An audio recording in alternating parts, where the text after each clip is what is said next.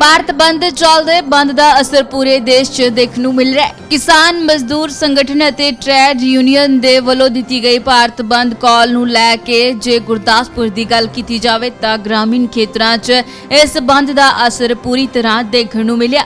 ਪਹਿਲਾਂ ਦੇਖੋ, ਲੋਕਾਂ ਦੇ ਠਾਠਾ ਮਾਰਦੇ ਇਕੱਠ ਦੀਆਂ ਕੁਝ ਤਸਵੀਰਾਂ। ਮੋਦੀ ਦਾ ਫਾਂਸੀ ਰਾਜ ਨਹੀਂ ਚਲੇਗਾ ਨਹੀਂ ਚਲੇਗਾ ਬੰਦ ਨੂੰ ਲੈ ਕੇ ਗੁਰਦਾਸਪੁਰ ਦੇ ਕਸਬਾ ਹਰਗੋਬਿੰਦ ਦੇ ਬਿਆਸ ਦਰਿਆ ਦੇ ਨਜ਼ਦੀਕ ਮੁੱਖ ਚੌਂਕ 'ਚ ਚੱਕਾ ਜਾਮ ਕਰ ਕਿਸਾਨ ਸੰਗਠਨਾਂ ਵੱਲੋਂ ਧਰਨਾ ਪ੍ਰਦਰਸ਼ਨ ਕਰਦੇ ਹੋਏ ਗੁਰਦਾਸਪੁਰ, ਹੁਸ਼ਿਆਰਪੁਰ ਮਾਰਗ ਨੂੰ ਬੰਦ ਕੀਤਾ ਗਿਆ। ਅੱਜ ਅਸੀਂ 250 ਕਿਸਾਨਾਂ ਦੀ ਜਥੇਬੰਦੀ ਦੇ ਸੱਦੇ ਤੇ ਭਾਰਤ ਦੇ ਕਿਸਾਨਾਂ ਦੀ ਜਿਹੜੀ ਜਥੇਬੰਦੀਆਂ ਏਕਾ ਕਰਕੇ ਆਪਣੀ ਲੜਾਈ ਆ ਜਿਹੜੀ ਉਹ ਵਿੱਢੀ ਆ, ਉਹਦੇ ਲਈ ਆਪਾਂ ਅੱਜ ਲਾਈਟਾਂ ਵਾਲਾ ਚੌਂਕ ਸ਼੍ਰੀ ਗੋਬਿੰਦਪੁਰ ਧਰਨਾ ਲਾ ਕੇ ਰੋਸ ਪ੍ਰਦਰਸ਼ਨ ਕਰ ਰਹੇ ਆ। ਸਾਡੀਆਂ ਮੰਗਾਂ ਨੇ ਕਿ ਕਿਸਾਨਾਂ ਨੂੰ ਸਵਾਮੀਨਾਥਨ ਕਮਿਸ਼ਨ ਦੀ ਰਿਪੋਰਟ ਦੇ ਮੁਤਾਬਕ ਵਾਜਬ ਜਿਣਸਾਂ ਦੇ ਭਾਅ ਦਿੱਤੇ ਜਾਣ। ਉਹਦੇ ਤੇ ਕੇਂਦਰ ਸਰਕਾਰ ਨੇ ਕੋਈ ਗੌਰ ਨਹੀਂ ਕੀਤਾ। ਸਿਰਫ ਅੱਜ ਹਿੰਦੁਸਤਾਨ 'ਚ ਤੇ ਪੰਜਾਬ ਦੇ ਵਿੱਚ ਗੁੰਡਿਆਂ ਦਾ ਰਾਜ ਆ।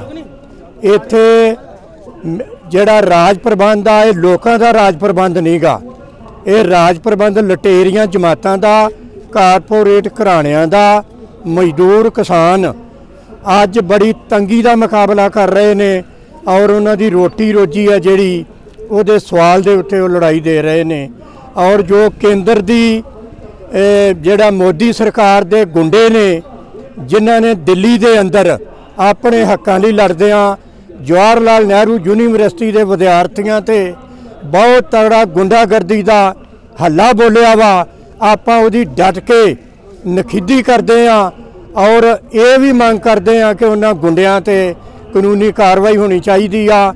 ਪਰ ਆਸ ਨਹੀਂ ਕੀਤੀ ਜਾਂਦੀ ਕਿਉਂਕਿ ਇੱਕ ਮਿਲੀ ਭੁਗਤ ਦੇ ਮੁਤਾਬਕ ਮੋਦੀ ਦੀ ਸਰਕਾਰ ਦੇ ਗੁੰਡਿਆਂ ਨੇ ਉਹਨਾਂ ਤੇ ਹੱਲਾ ਬੋਲਿਆ।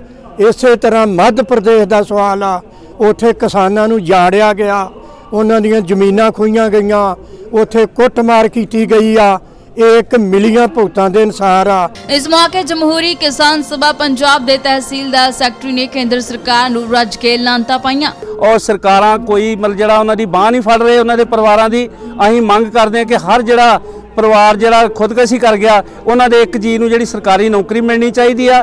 ਤੇ ਨਾਲ ਉਹਦਾ ਜਿਹੜਾ ਕਰਜ਼ਾ ਮਾਫ ਹੋਣਾ ਚਾਹੀਦਾ ਤੇ ਜਿਹੜਾ ਆਉਣ ਵਾਲੇ ਸਮੇਂ ਦੀਆਂ ਨੀਤੀਆਂ ਇਹੋ ਜਿਹੀਆਂ ਬਣਾਉਣੀਆਂ ਚਾਹੀਦੀਆਂ ਕਿ ਕਿਸਾਨੀ ਦਾ ਕਰਜ਼ਾ ਜਿਹੜਾ ਉੱਤੇ ਲੀਕ ਮਾਰੀ ਜਾਵੇ ਤੇ ਡਾਕਟਰ ਸਵਾਮੀਨਾਥਨ ਦੀਆਂ ਸਿਫਾਰਸ਼ਾਂ ਲਾਗੂ ਕੀਤੀਆਂ ਜਾਣ, ਜਿਹਦੇ ਨਾਲ ਜਿਹੜੀ ਕਿਸਾਨੀ ਬਚ ਸਕਦੀ ਹੈ, ਨਹੀਂ ਤੇ ਕਿਸਾਨੀ ਜਿਹੜੀ ਆ ਉਹ ਬਚ ਨਹੀਂ ਸਕਦੀ ਔਰ ਕਿਸਾਨ ਦੇ ਕੋਲ ਸੰਘਰਸ਼ ਕਰਨ ਤੋਂ ਬਿਨਾ, ਯੁੱਧ ਕਰਨ ਤੋਂ ਬਿਨਾ ਅੱਜ ਕੋਈ ਦੂਸਰਾ ਰਾਹ ਨਹੀਂ ਰਿਹਾ। ਇਸ ਕਰਕੇ ਅਸੀਂ ਸੱਦਾ ਦਿੰਦੇ ਆ ਕਿ ਕਿਸਾਨ ਇਕੱਠੇ ਹੋਣ ਤੇ ਸਰਕਾਰ ਨੂੰ ਜਿਹੜਾ ਉਹ ਠੀਕ ਲੀਆਂ ਤੇ ਲਿਆਂਦਾ ਜਾਵੇ।